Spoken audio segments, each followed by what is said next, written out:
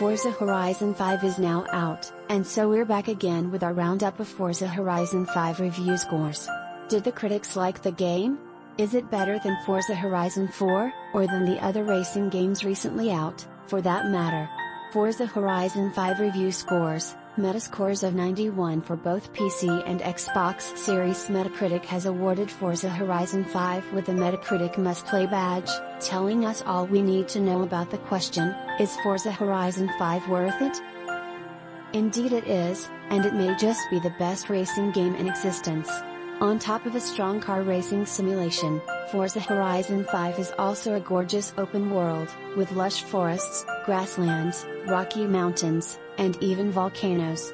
Forza Horizon 5 lets players race on different terrains, all played in cinema quality graphics.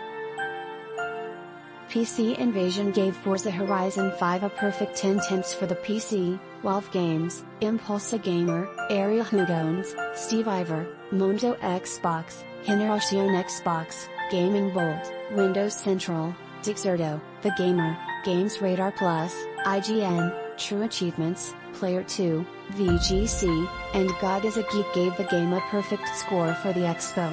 All of these publications have deemed Forza Horizon 5 a perfect game, especially on the console it's developed for, the Xbox Series 10.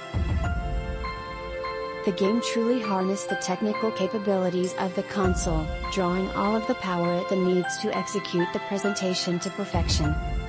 IGN described the game best, in our opinion, saying, Forza Horizon 5 is a deep and nuanced carnirvana for revheads and auto geeks to endlessly collect, tinker, and experiment. It's also an extremely accessible buffet of racing spectacle open to everyone, from deluxe edition diehards to Game Pass nomads, no matter their driving skill or mechanical knowledge. It's an occasionally goofy but always earnest valentine to Mexico's world famous culture, and a romantic ode to the magic of road tripping through postcard perfect vacation vistas. It's a long haul, MMO inspired racer that's exploding with more races, activities, and event types than can comfortably fit on some parts of the map, and yet it still always feels relaxed rather than daunting. It never locks you into something you don't want to do and steadily rewards you for however you choose to play it. It looks beautiful, it sounds magnificent, and it is glorious to play.